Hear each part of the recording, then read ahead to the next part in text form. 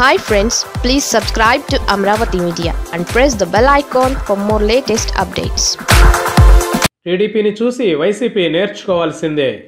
టీడీపీలో ప్రజాకర్షణ కలిగిన నేత లేకపోయినా ఎన్నికలు వచ్చేసరికి ప్రధాన పోటీదారిగా నిలుస్తుంది. దీనికి కారణం పార్టీకి బలమైన పునాదులు వేయడమే.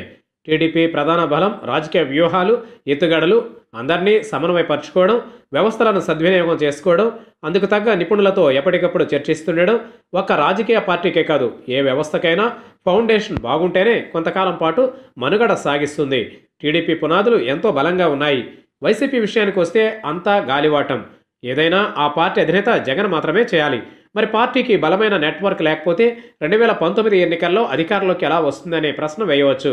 నిజానికి వైసీపీ శ్రేణుల కంటే అదృశ్యంగా చంద్రబాబుకు వ్యతిరేకంగా పనిచేసిన శక్తులు యుక్తులే ఎక్కువ. చంద్రబాబుపై వ్యతిరేకత మొత్తం ప్రత్యామ్నాయ నాయకుడైన జగన్కు కలిసి వచ్చింది టీడీపీ కష్టాల్లో ఉన్నప్పుడు ఆ పార్టీలోని వివిధ నెట్వర్క్ల పనితీరేంటో సాక్షిపై ప్రెస్ కౌన్సిల్కు ఫిర్యాదే నిదర్శనం.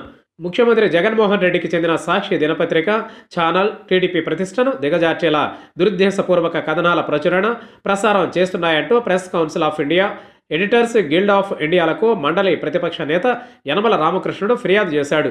సాక్షి పత్రిక ఈ నెల పద్నాలుగున మచ్చుకు రెండు వేల కోట్లు పదిహేనవ తేదీన ఆంధ్ర అనకొండ పేరుతో నిరాధార కథనాలు ప్రచురించిందని తప్పుడు కథనాలతో మీడియా విలువల్ని దిగజారుస్తోందని ఆయన ఫిర్యాదులో పేర్కొన్నారు.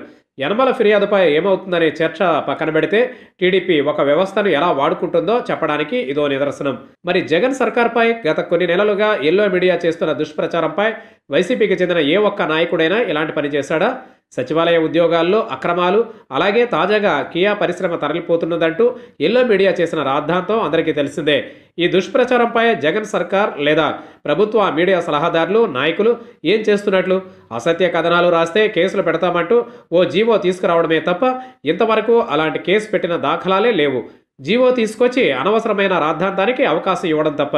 టీడీపీని చూసి వైసీపీ ఎప్పుడు నేర్చుకుంటుందో?